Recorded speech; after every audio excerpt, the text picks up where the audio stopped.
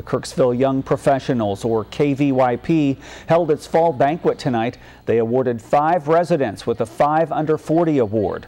That award goes to professionals under the age of 40 who live in Kirksville and have demonstrated dedication to their careers and a commitment to their community. The five winners were City Councilman Carolyn Chrisman, Realtor and business owner Heather Condon, Truman State Academic Advisor Aaron Shaw, real estate broker Mike Lebeth, and systems